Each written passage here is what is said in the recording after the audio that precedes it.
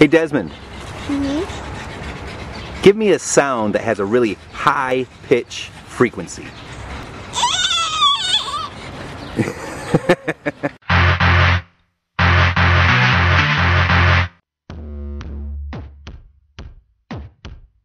Hi, I'm Rich Lund, and welcome to another special Halloween edition of Indy Labs, where we put the science in your hands. Halloween has got to be my favorite holiday. Candy, costumes, you get the chance to be spooky and scary.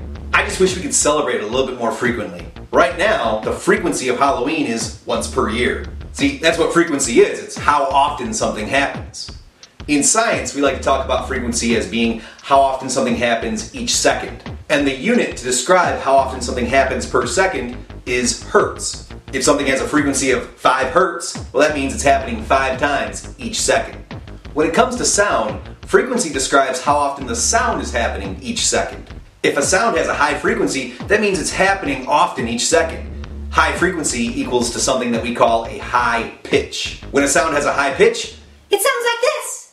and when a sound has a low frequency and it's happening a lot less often, it ends up having a low pitch. and it sounds like this. Well, who better to help us explore this idea during the Halloween season than that Pokemon character Gastly? Today, we're going to make some screaming Gastly balloons. And we're going to learn a little bit about sound frequency. Here's what you're going to need. You want to get some rubber party balloons. They don't have to be black, but if you're making some Gastlies, that's certainly going to be an added bonus. You'll also need some six-sided hexagonal nuts. Now, if you just want to do the science experiment, really that's all you need. But if you want to have some fun decorating for the holiday season with the Gastlies, you're also going to want some colored construction paper. And you'll need some scissors and tape. So what exactly is the idea here? How are balloons and hex nuts going to help us learn about sound frequency? Well, here's how it works. We're going to give the hex nuts some energy, get them moving. And as they roll, every single time they're going to hit one of those sides against the surface they're rolling on. For our experiment, it's going to be the interior of a balloon. Every time it hits, it's going to make a sound. If we can get it to roll fast and hit often, it's going to be a very high pitched sound. If it slows down and it's hitting less often, well, that's going to be a lower frequency and you're going to get a lower pitched sound. All right, so let's have some fun and test out this idea and let's get some help from my nephew Desmond. Here we go. So, for this Halloween episode, we are here again with Desmond Hi. And we got some balloons and we got these hexagonal nuts. How good are you at blowing up balloons? I'm really good. One time, um, I was at summer camp. I had a balloon and I blowed it up really good. Yeah. That big. And it didn't pop? No. What happened to that balloon? But when I was in the car, it popped. So here, take your balloon, take your nut, put the hex nut into the balloon. Okay, now I want to see you blow it up. Not as large as you can, but to a pretty good size. That's pretty good. Now we have to tie it in a knot. I'll tie it for you. Now here's where the fun part is. Now that it's in there, if we give it a little bit of energy, it's gonna roll around inside. So I try to do a nice swirling motion. Observe.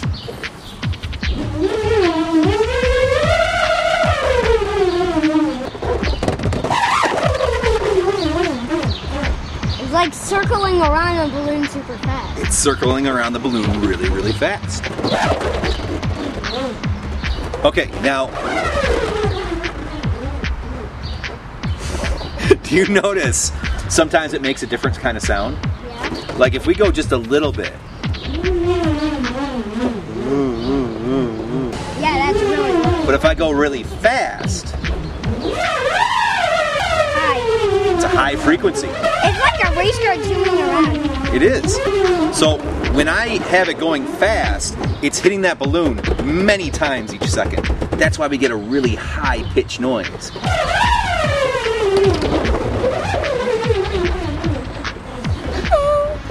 But when it's going slow, it's only hitting a few times each second.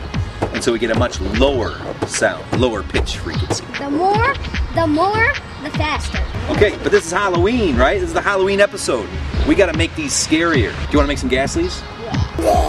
We're making the eyes. We're gonna cut out some half circles here. Yeah. Got it out. Next, we're gonna use the one eye to trace the next one. Oop. Okay, so we got two eyes. Let's get a mouth going. Gastly has like a really large, smiling mouth. Have you ever seen a ghost? I'm sure some, the shadows what look like humans might be a ghost. You're sure that it might be. Yeah, I'm sure that might be. I like that word might. So we've got two eyes and a mouth, but what's missing in the eyes? Pupils. Pupils. And what's missing in the mouth? What does Gastly also have? Teeth. Teeth. We're going to solve both problems at once. We're going to cut out some little triangle pupils, and then that is going to be the tooth. We're going to do it for both eyes, so that way we get two teeth.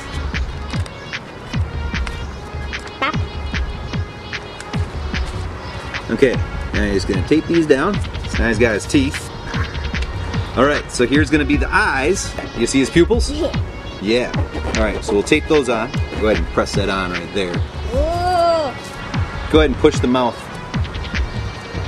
There is your Gastly. Gastly. You like your Gastly? Yes. So we just made a Gastly, but I don't think we had enough fun with this yet. What might make this even more fun? Explosion! Explosion. Let's do it. We just so happen to have some dry ice and a hammer conveniently lying around. A little bit of hot water for energy and a safe distance, and we were ready to have a little bit more Halloween fun. Yeah, that's a lot of sneak.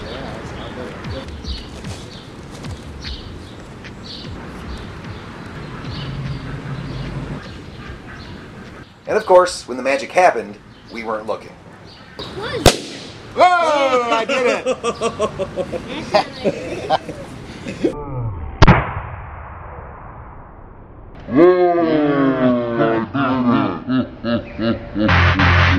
Well, there you go. Hope you had fun with this one. I hope it really adds to your festive Halloween experience this season. Leave a comment below. Let us know how it turned out for you. And as always, that thumbs up like is very much appreciated. Subscribe to the channel to get some more Indy Labs in the future. And I hope you all have a very safe yet spooky Halloween.